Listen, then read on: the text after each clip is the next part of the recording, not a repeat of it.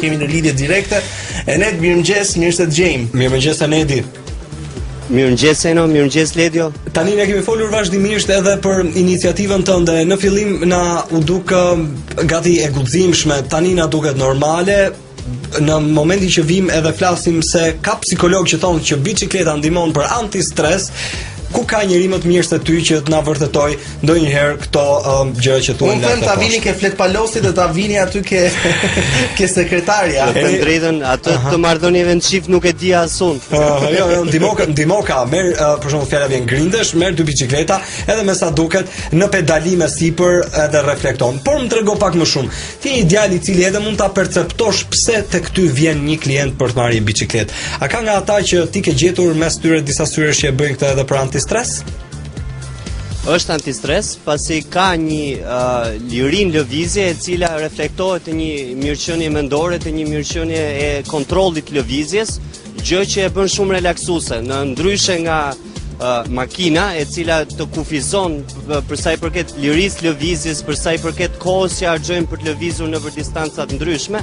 Biçikleta e si të thuash nxit shumë më tepër këtë lirinë, prakticitetin dhe një lëvizje në distanca e cila e bën shumë relaksuese dhe punën. Dakord se ke për të mbaruar një punë mm -hmm. dhe nëse të shkoje në atë destinacion me makinë do stresoheshe që nga fakti i parkimit që nga fakti i bllokimeve të gjata në semafore dhe te pjesa tjetër që ti nuk e kontrollon dot kohën që të duhet për të arritur në atë distancë. Enedi, pyetja tjetër që është ana tjetër. A më dëgjon pyetja tjetër që ka të bëjë ndoshta me anën tjetër? A mund të kthehet në kushtet e Shqipërisë biçikleta një stres më vete, që do thotë që ti ndoshta duke mos pasur edhe rrugët e korsitë e dedikuara kaq shumë për biçikletat apo duke qenë mes makinave, Sa herë të ka ardhur ndonjëri me diskun e shtrëmbruar dhe të ka thënë që merre se më përplasi.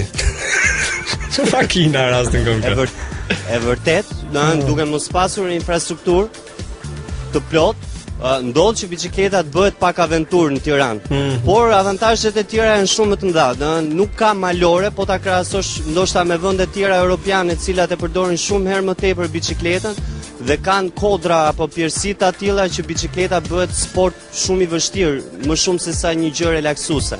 Ndërsa Tirana është një reliev shumë i drejtë, i sheshtë, dhe distancat mund zbresim nga njëri skaj i qytetit te tjetri, mhm. pa një lodhje të madhe fizike, në pa u sforcuar shumë, pa bërë një sport ekstrem. Okay. Ky është avantazh shumë i mirë. Mirë që Tirana e ofron. No. Uh, e ne uh, ne kursive do vi absolutisht duke u përmirësuar hap pas hapi sepse vendet e tjera kanë 40-50 vjet që investohen.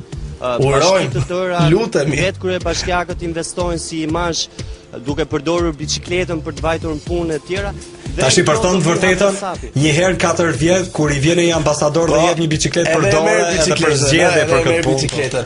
Tani ne na ndihmon edhe regjia me pamjet, ju e keni krijuar tashmë eksperiencën e sidomos të rinjve që nëse i duhet të zgjedhin mes makinës dhe biçikletën, edhe si formë ekologjike zgjedhin biçikletën.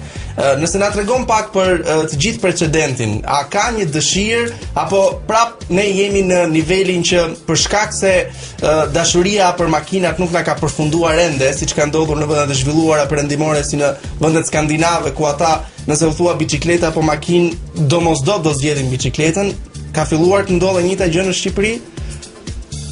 Ndodh, domethënë ajo që duhet bërë kur fillon një, si thua, krijimin e një fryme apo kulture është të ngacmosh pak nga të gjitha. Domethënë një nga gjërat që ne kemi ngacmuar ka qenë edhe pjesa argëtuese e biçikletës nëpërmjet bike tureve, nëpërmjet aktiviteteve uh, deri diku argëtuese dhe socializimi. Domethënë bike turet në fund të fundit nuk është se ishin aktivitete uh, ekstremisht sportiste, se sa një mënyrë argëtimi dhe mënyrë socializimi, vajza që njihnin djem nëpërmjet uh, një aktiviteti apo udhëtimi me biçikletë. Dhe kjo është një gjë që ka funksionuar, vazhdojmë të operojmë, ndërpremë një farë kohe në këtë të ftohtin dhe acarin që ishte diçka më aventurë të dilje me biçikletë dhe do t'i rikthehemi sërish.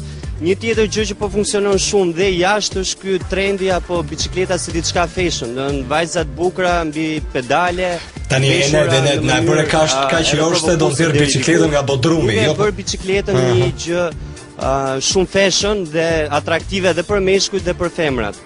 Domethënë këto janë ato gjërat që ne kemi ngacmuar dhe vazhdojmë t'i ngacmojmë edhe në rrjetet sociale, por edhe gjatë bajktureve.